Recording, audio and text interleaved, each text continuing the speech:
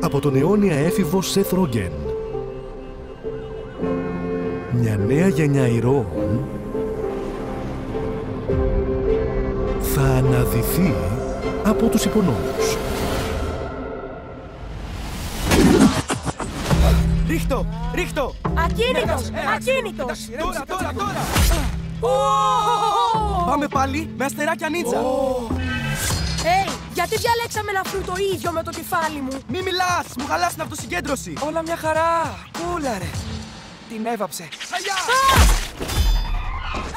Το ακούσατε αυτό τι έγινε! Άστο, δεν είναι για μας! Τι λέτε, πάμε για καμιά πίτσα! Φέτος,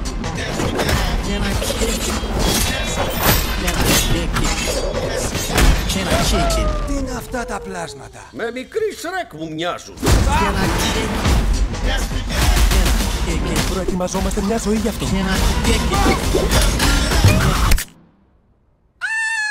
Όχι, όχι, ω! Ω, θα ξεράσω. Λίο, τι Δεν το έγινε, πιστεύω, δεν το αιμορραγή.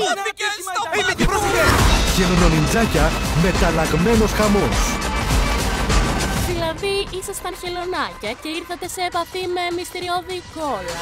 Προτιμάμε τον όρο ουσία, αλλά ναι! Ξέρεις, ακούγεται πιο ωραία στο αυτή. Έχει καλύτερη ροή στη γλώσσα. Ουσία.